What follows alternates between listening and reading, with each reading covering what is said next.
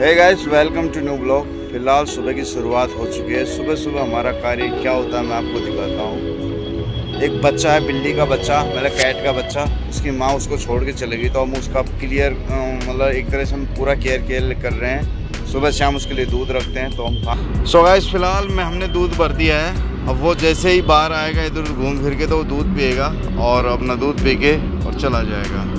तो डेली का कार्य ये हम करते हैं। पूरा दूध भर दिया भाई देख लो अच्छे से। भाई, इसको हम दूध रख दिया है, दूध पी रहा है दबा के। ये बहुत कमज़ोर हो रहा था, पर अब इसको हमने दूध रख दिया तो देख लो भाई। अब अपना दूध आराम से पीता, मस्त तरीके से। सुबह शाम इसका ध्यान रखता है, इसकी मम्मी है ना, इसको छोड़ के चली गई। तो हम इसका स्पेशल ध्यान रखते हैं, क्योंकि ये बहुत छोटा बच्चा है। और अब ये धीरे धीरे मोटा हो जाए तो अच्छी बात है। आराम से फुल छूट है, इसको जितना दूध पिए, उतना पीता है। एक थैली पे, आधी थैली पे इसको कोई मना ही नहीं है। बट ये बिल्ली का बच्चा है ना, बहुत छोटा बच्चा है क्यूट बच्चा है। देख पा रहे हो आप? तो भाई, अगर आपके पास कोई भी एनिमल हो, अनजान हो या जानवर हो या जैसा भी हो, उसे ज़रूर खिलाते पिलाते रहो। क्योंकि तकलीफ़ में अगर आप साथ दोगे भगवान आपका साथ देगा।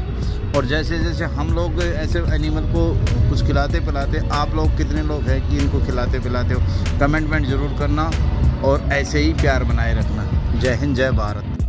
भूखा इंसान हो या बच्चा हो या छोटा हो, बड़ा हो, सबको भूख लगती है। समय पे हर चीज़ का ध्यान रखना पड़ता है और अगर अभी फ़िलहाल उसकी माँ नहीं है तो हम केयरलेस कर सकते हैं। कोई भी एनिमल मिले आपको तो उसको केयरलेस कर सकते हो, ध्यान रख सकते हो।